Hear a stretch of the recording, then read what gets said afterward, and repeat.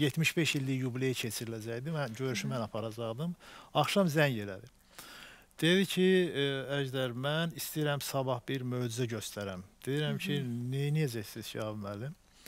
Dedi, mən e, bilirsən də bir e, müəyyən qədər, müəyyən illər ömrümün xeyli hissəsini kamança saldım, bu xalqı düşündürdüm, fikirlə kədərləndirdim, ağlatdım, e, fikirlərə dalırdım belə-belə deyə bu mənada. Amma ömrümün axır vaxtlarında da anekdot danışıb bu xalqı güldürürəm. İndi istəyirəm sabah onların ikisini birləşdirim. Aha. Dedim ki, necə eləyəcəksən birləşdirəcəksən? Deyir ki, belə qərara gəlmişəm ki, axırda mənə söz verər, söz verəndə mən deyir çıxacağam səhnəyə.